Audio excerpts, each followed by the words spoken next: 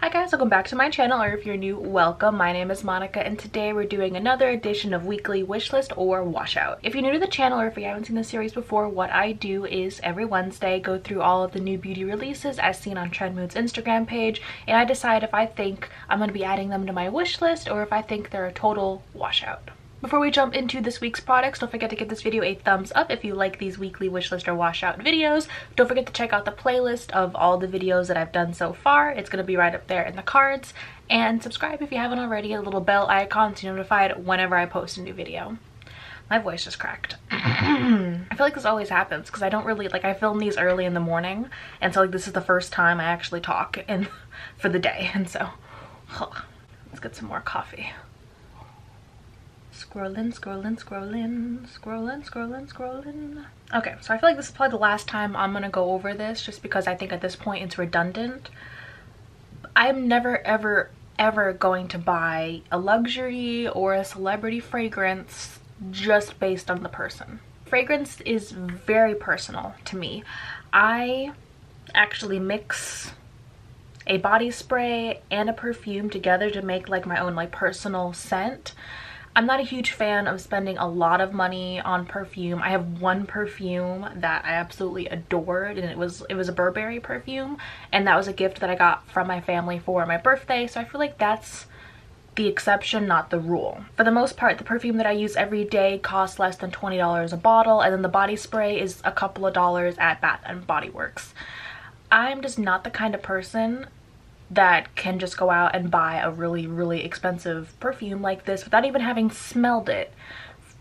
For that Burberry perfume, I spent months like I had like at least six little sample bottles of it. I had all the little tiny samples. I had the magazine cutouts that I would keep in my room because I liked the way that it smelled so much. I, whenever I could go into a Sephora or wherever they had like the bottle out on display, I would get a little sample if I could. After doing that for months, my family got it for me like as a gift. That's just how I view fragrance. I am never going to buy a KKW fragrance. I am never going to buy anything high-end like that. And I just don't understand how people can jump on board with such an expensive fragrance without even having ever smelled it. Like how do you even know it's gonna work for you? How do you even know it smells good? How do you know it's gonna smell good on you? Because perfume is very personal. So it could smell good on one person and not so good on the other person, you know? I just, I feel like there's a lot that goes into perfume and I really don't understand this at all. Why do I feel like it's been forever since we've gotten a new L'Oreal release? When was their last release? Was it the Pro Glow? I don't think it was the Pro Glow. Was it? I don't know. I feel like L'Oreal's flown under the radar for a long time. But now they're coming out with this new collaboration with Camila Cabello. And I gotta say, the packaging's adorable. It looks very cute. They're coming out with some like single eyeshadows. I think those are lipsticks. Oh, it's a lip gloss. They're called Lip Dews. That's kind of cute. There's a bronzer, a liquid bronzer. I'm not a huge fan of liquid bronzers. Um, there's a brow. Gotta give brow. There's a liner. There's the lip glosses and then the eyeshadows. So this is, I mean, it's a cute little collection. I feel like if there had been a powder bronzer, maybe I would have tried it out.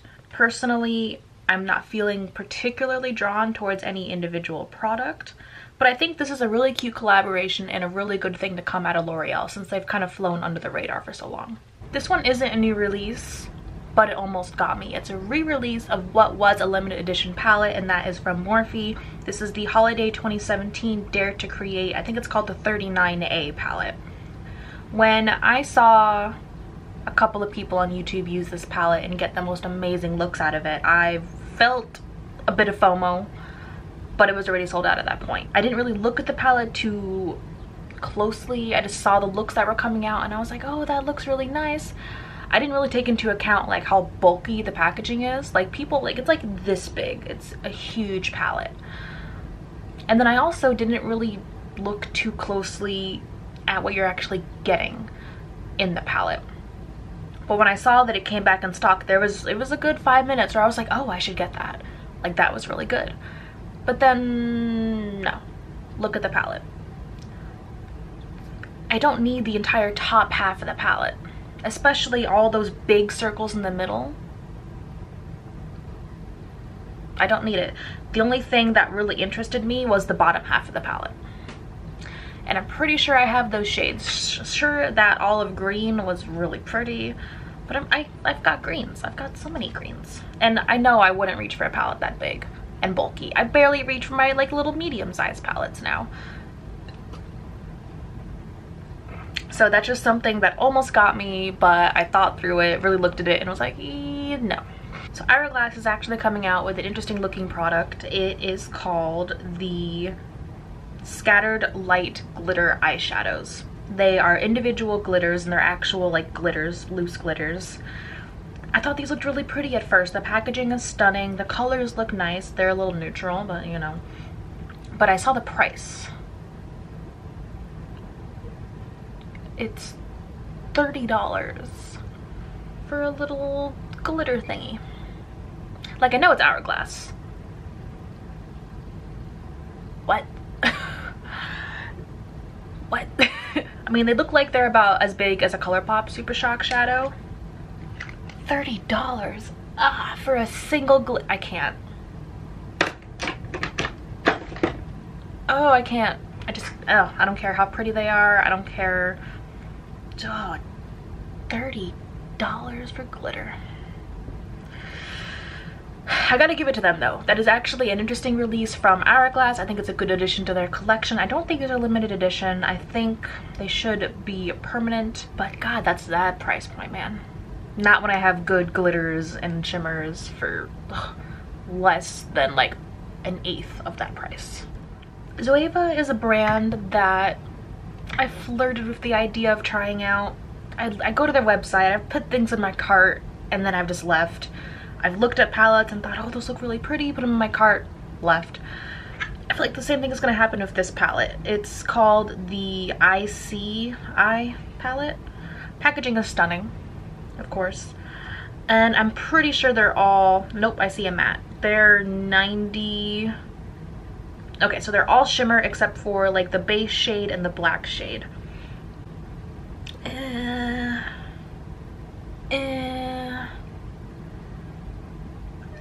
That's really all I can say, just like, eh, like, ooh, oh, I might get this one. I think I'm gonna get this one. Smashbox came out with their Ablaze summer collection and there's a face palette. My all-time favorite contour palette comes from Smashbox. I got it like during the Sephora weekly wow so it was only $17 and it's got I, it's in my drawer right now because it's in my everyday makeup drawer. But I have it's like a little highlight shade it's matte the bronzer and then the contour shade. That's my favorite contour shade. I am actually wearing it today. It's just a perfect tone. It's it blends out like a dream.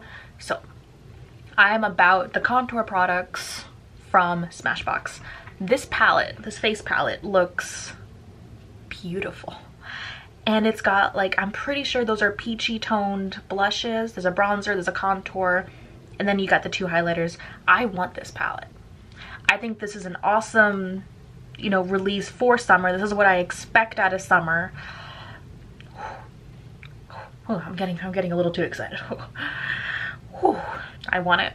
I want it. But yeah, if you have not tried that little contour, like the trio palette from them, try it. I love it. I'm actually close to hitting pan on one of the shades in there and I'm probably gonna rebuy that palette when I'm done, even though it's just not gonna be the same sale price, but it's worth it. Worth it. I really want to try out this foundation. I actually, I have, okay, so this is a foundation from NYX. I actually have another NYX foundation in that elf bag back there that I bought and I was like oh I'm gonna do a first impression review on this and then I never did so it's still in the box back there. But I do want to try out this foundation. It's called the Can't Stop Won't Stop. It comes in 45 shades like a collaboration with Alissa Ashley. If anything um, we have a NYX store in our local mall. I do want to go and see if maybe they'll shade match. That would be really cool. Um, but at least you know get a sample try it out because it looks like an excellent shade range and it looks like a good product where the heck did this brand come from? It's called Ace Beaut. I've never heard of it. They're coming out with a bunch of palettes that look like they come from Shop Hush, which is where I thought they were from originally. But they're $31 each. I was shocked. I thought these were gonna be like the Bad Habit palettes. $31. Whew. whew, honestly, I've never heard of this brand. Those swatches look fake and nah. Nah, I might watch some reviews on this one just to see what the hell they're about, but I'm not gonna spend that much money on a palette from a brand I never even heard of. We got a sneak peek of the new Too Faced collection. It's called the Tutti Frutti collection. This is like a small eyeshadow palette. It's a little bit boring, um, but the packaging is really cute. I'm really interested to see what the rest of the collection is going to have. I'm not sure what I'm exactly expecting out of the collection. I know they're going for a different shape for their palettes. I'd be interested to see some more cheek products. Their cheek products get really good reviews, like their Papa Don't Peach blush. I like to see something like that in this collection. Maybe a new highlighter, that'd be really cute. Or like a little mini, like if they made a mini face palette. Oh, I would love that. Natasha Denona is coming out with a new mini palette. It is the Mini Lila. I think that's how you pronounce it. The Mini Lila palette. I do have the full-size Lila palette. I did not pick up the mini Sunset palette because again, I do have the full-size Sunset palette. I do think that the minis are an awesome way to try out that formula though because they're about $20. You do get a decent amount of shadow in the pans even though the pans are like little baby pans but you do get a decent amount of shadow for your money to try out Natasha Denona. I think these are only available online. I tried going into a Sephora a while ago looking for the palette and I think they're online only but actually no that's a lie. I think I saw the Sunset one in store. I don't know. I was told at one point that it was online only and then I went and I think I saw it. Or I could be imagining things. Who knows? But I do think this is a good way to try out Natasha Denona if you don't want to splurge on any of the other products. And let me know if you guys want to see any videos with the full-size Lila when this comes out. If you want some, you know, inspiration or more purples in your life. This launches the 24th. So I could probably throw up a video around then. But just let me know down below what you guys want to see. Alright, and I think that is everything for this week. I think we had a lot more products than usual this week. I don't know what happened. New releases, everything exploded. But thank you so much for watching. Hope if you guys liked it, you'll give it a thumbs up and subscribe before you leave. And I'll see you in my next video. Bye!